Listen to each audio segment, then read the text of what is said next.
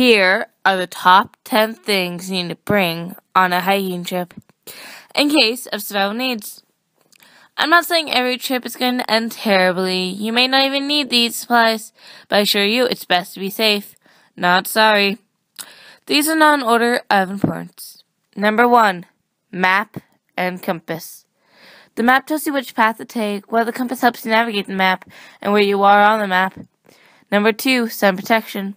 Sunglasses and sunscreen, which you can guess the reason, but sunburns aren't your only problem. There's also sun cancer that you may want to avoid.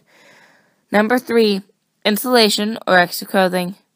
This is in case your clothes get soaked and you need to change.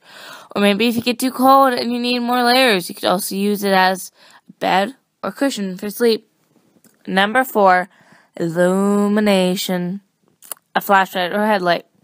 In case you find a cave, or more importantly, at night. Number five, first aid supplies. This is an obvious one, or it should be. You should be keeping one in your car since it's great to have one around in case someone gets hurt or you get hurt. Number six, fire starter. Something that can start a fire, preferably waterproof, if possible, so you can make a fire and keep warm. Number seven, repair kit and tools. Something you can use to fix supplies like your backpack or flashlight. Number eight, nutrition like granola bar or some other food, form of food. Preferably something that can last without refrigeration. And remember, you can only survive four weeks without food as long as you drink water. Number nine, extra water bottles. You can only survive four days without water, so it's best to have an extra water bottle.